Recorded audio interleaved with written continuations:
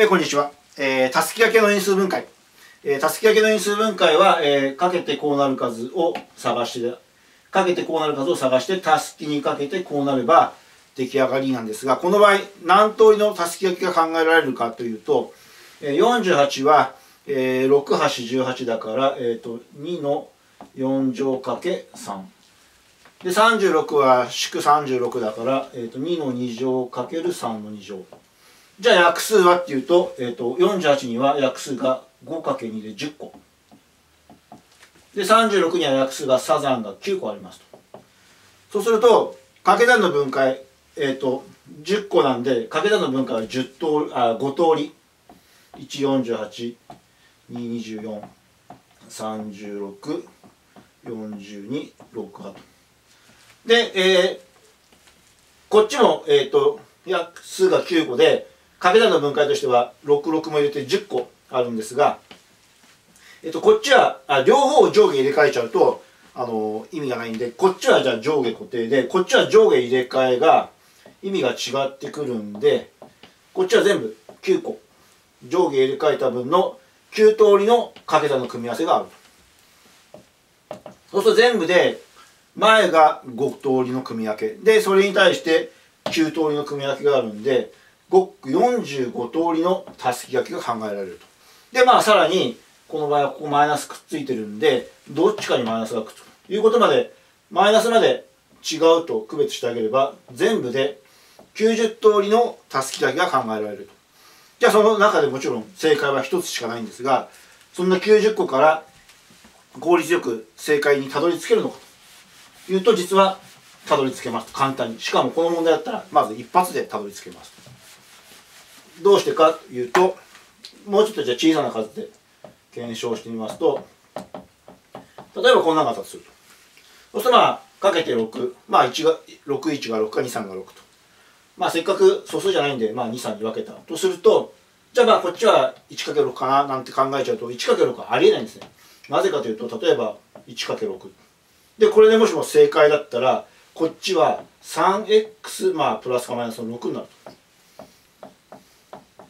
そうするとこれ3でくくれちゃいますよね。ありとあらゆる因数分解で胃の一番に絶対やらなければいけないのは共通因数があったらまずはくくると。もうそれはありとあらゆる因数分解でも絶対成り立つ法則で絶対に共通因数があったらそれはくくりますと。でまあこれは共通因数がないと。ないからじゃあたすき掛けが始まったと。で最後くくれちゃったらそれは最初からくくれてるはずでくくれちゃいけないということはもしも23に分けたならばこっちも23に分けて反対にするしかもうありえないと。でまあ実際に2人が4とサダンが9ででまあマイナスは最初から書かずに後から最後にくっつければいいんで、えーと、マイナス5にしたいからじゃあこっちがマイナスでちょうどうまくいきましたっていうふうにやります。ので実はこの問題も48約数多いですが2の4乗かけ3なんで約数多いですが2は4つもあるけどもこれ2を上下に振り分けることはここがこっちの数がもう2を持ってるんでありえないんですね。2を上下に振り分けちゃったらどっちかで絶対2がくくり出せちゃうだから6波とかって分けちゃいけないと。48見たら6波と分けたくなりますがこの問題では6波と分けたら絶対うまくいかない。なぜなら両方に2が入っていてこれを両方2なしで分けることはできないと。必ずくくれちゃうと。いうことは2を上下に振り分けられないならこの問題においてはこの16っていうのはもうほぼ素数みたいなものを分けることはできませんと。これ以上割れない数です。この問題に限り。なんでこれは分けるとしたら 1×48 か